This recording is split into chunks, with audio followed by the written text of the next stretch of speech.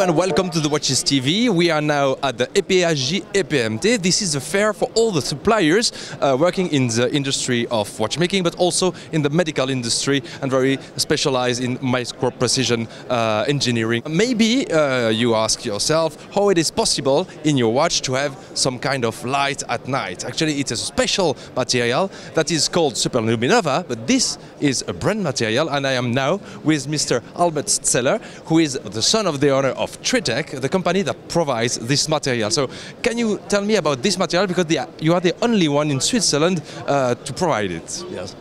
Well, our material is kind of a ceramic. It's fully produced in Switzerland, in Teufen, that's uh, in the region of Appenzell, to um, guarantee the Swiss watch market fully Swiss produced luminous pigments, which uh, also helps like the Swiss watch industry to uh, keep their Swiss made. It's non-radioactive like the luminous pigment was in the past. So therefore we had to look out for a new material which my father found in China. It's uh, based on the same material as Swiss Super-LumiNova is at the moment. He found out together uh, with our Japanese partners uh, from Nemoto.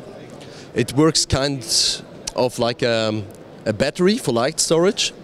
So by UV light coming, coming up on the crystal, it uh, helps the electrons in the crystal to go up on a higher level, a more energetical level, and it can be stored up on that level. By uh, thermal energy, let's say uh, heat which comes around the watch, the electrons can be lifted up a little bit and they fall back to the ground state. By this falling down, some energy gets lost and uh, this energy uh, is visible as light.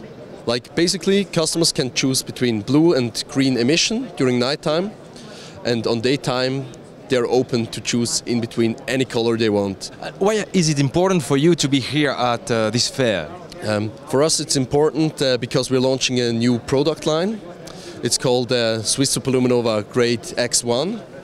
We worked on some parameters, some other small things, and we were able uh, to improve the material compared to the standard material uh, on the long-term afterglow.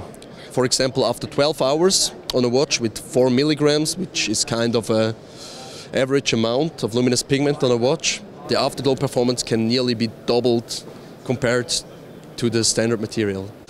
And the idea behind it is to directly discuss with our customers, with people who are interested or might be interested in our materials, to show them possibilities, how to use our material, and it always helps to be speaking with the people, to be showing them the things directly and not just writing emails. We're happy to supply like most of the Swiss watch industry with our luminous pigment.